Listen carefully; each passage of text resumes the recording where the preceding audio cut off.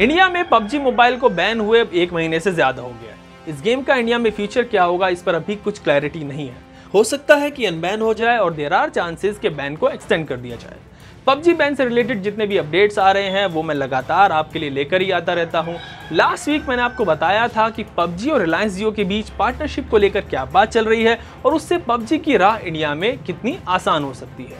लेकिन इस सब के बीच पबजी से रिलेटेड एक और बड़ी खबर आ रही है और वो ये कि पबजी मोबाइल के सर्वर्स पर हैकर्स ने डीडॉस अटैक कर दिया है, जिससे दुनिया भर में गेम के सर्वर्स जैम हो गए हैं और गेम बार बार डिस्कनेक्ट हो जा रहा है।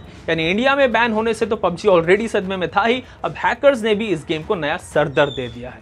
तो आज के इस टेकटॉक वीडियो में आपसे मैं इसी पर बात करूँगा और बताऊँगा कि कैसे हैकर्स ने पबजी के सर्वर्स को हैक कर लिया है। इससे क्या क्या इश्यूज़ प्लेयर्स फेस कर रहे हैं और साथ ही जानेंगे कि आखिर ये डीडॉस अटैक होता क्या है। तो दुनिया भर में पबजी प्लेयर्स गेम खेलते हुए कई इश्यूज़ फेस कर रहे हैं। जब भी गेम स्टार्ट कर रहे हैं तो कई बार गेम फ्रीज हो जा रहा है और कई बार खुद ब खुद डिस्कनेक्ट हो जाता है, जिसकी वजह से पबजी प्लेयर्स पूरी तरह से फ्रस्ट्रेटेड है। कुछ लोगों का कहना है कि गन्स पिक करने से पहले गेम फ्रीज हो जा रहा है और जैसे ही रिकनेक्ट होता है तो द प्लेयर गेट स्किल्ड इसके बारे में पबजी ने भी अपने ऑफिशियल ट्विटर हैंडल से ट्वीट किया है, जिसमें कहा गया है कि गेम पर इस वक्त डीडॉस अटैक हुए हैं और इसकी वजह से प्लेयर्स डिस्कनेक्शन का इशू फेस कर रहे हैं। पबजी का कहना है कि इस इशू को जल्द ही जल्द रिजॉल्व कर लिया जाएगा साथ ही एक एंटी चीट पैच भी रिलीज़ किया जाएगा ताकि हैकर्स और चीटर्स गेम में एंट्री ना ले सकें। एक्चुअली इस अटैक से गेम तो डिस्कनेक्ट हो ही रहा है, साथ ही साथ हैकर्स हर प्लेयर को फ्रीज कर दे रहे हैं और एक प्लेयर आकर उन सभी को किल कर देता है। मतलब one player is getting 99 kills through cheating and it gets really frustrating और ये सब हो रहा है डीडॉस अटैक के ज़रिए। डीडॉस अटैक होता क्या है? चलिए आपको बताता हूँ। तो डीडोस अटैक का मतलब होता है distributed denial of service attack इसमें हैकर्स सर्वर्स पर साइबर अटैक करते हैं और उसको डिस्टर्ब कर देते हैं। इस तरह के अटैक में हैकर्स सर्वर्स पर इतना डेटा ट्रैफ़िक सेंड करते हैं कि वो काम करना बंद कर देता है और आखिर में फ्रीज हो जाता है। ऐसे में अगर एक सिस्टम किन्हीं सर्वर्स को जैम करने के लिए बहुत ज़्यादा डेटा सेंड करता है तो उसको डॉस या फिर डिनाइल ऑफ़ सर्विस अटैक बोलते हैं। लेकिन अगर यही काम कई सिस्टम्स के थ्रू किया जाता है तो उसे डिस्ट्रीब्यूटेड डिनाइल ऑफ़ सर्विस यानी डीडॉस अटैक कहा जाता है।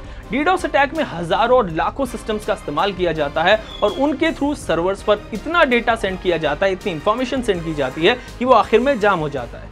हैकिंग और जैमिंग में शामिल ये सभी डिवाइसेस बॉटनेट का हिस्सा होते हैं जो आपस में रिमोटली कनेक्टेड होते हैं और एक साथ सर्वर्स पर अटैक करते हैं। लेकिन हज़ारों और लाखों सिस्टम एक साथ कैसे काम करते हैं? क्या इसके लिए हज़ारों और लाखों हैकर्स की ज़रूरत होती है? नहीं, ऐसा बिल्कुल नहीं है। डीडोस अटैक एक ग्रुप ऑफ़ हैकर्स इनिशिएट करता है। इसमें लोगों के सिस्टम में ईमेल्स अटैचमेंट और दूसरी फाइल्स के ज़रिए मालवेयर इंस्टॉल किए जाते हैं और फिर इन सभी सिस्टम्स को हैकर कंट्रोल कर लेते हैं। यानी इसमें आपका सिस्टम भी शामिल हो सकता है और आपको पता भी नहीं चलता। मतलब आठ या दस हैकर्स मिलकर भी हज़ारों सिस्टम को इन्फेक्ट करते हैं और उनके थ्रू सर्वर्स पर डीडॉस अटैक करते हैं। So that's how it's done so हमेशा ध्यान रखिए कि आप किसी भी अनवेरीफाइड लिंक पर कभी भी क्लिक ना करें और किसी भी सस्पिशियस अटैचमेंट या फिर फ़ाइल को डाउनलोड ना करें, वरना इससे आपको काफ़ी नुकसान हो सकता है। इस वीडियो में आपने जाना कि कैसे पबजी मोबाइल के सर्वर्स पर साइबर अटैक हुआ और ये भी जाना कि आखिर डीडॉस अटैक होता क्या है। आज के लिए इस वीडियो में इतना ही। लेटेस्ट टेक रिलेटेड वीडियोस के लिए आप एबीपी लाइव ऐप डाउनलोड करें और वहाँ पर जाकर टेकटॉक वीडियो ज़रूर देखें। एबीपी न्यूज़ आपको रखे आगे।